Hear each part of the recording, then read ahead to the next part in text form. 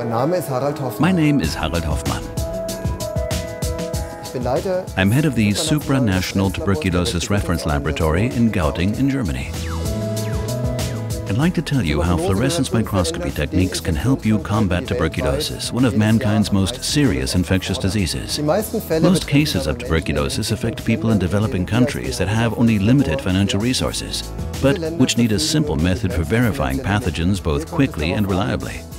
We are active in these regions as a WHO reference laboratory using fluorescence microscopy to accurately identify the disease.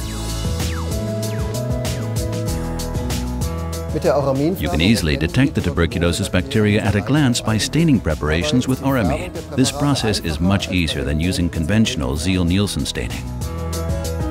First, mark your microscope slide as usual and streak the material as evenly as possible on the surface. Then, fix the air-dried smear with heat. For staining, use a solution with Auramine O that settles in the cell wall of bacteria.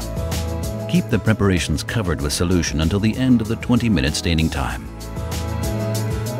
Non-acid fast bacteria fade when you subsequently treat them with a mixture of acid and alcohol, whereas acid fast tuberculosis bacteria retain the stain. Rinse the alcohol off thoroughly with distilled water. Next, use potassium permanganate, methylene blue, or even ordinary ink for counterstaining. Allow the prepared samples to air dry. Under the fluorescence microscope, you will see any tuberculosis bacteria contrasted against a dark background as luminous rods. You'll get a negative result if you don't find any acid-fast rods in at least 100 to 300 fields of view. Because fluorescence microscopy provides you with a particularly good contrast, you can identify samples very quickly indeed, effortlessly processing up to 50 preparations in one day.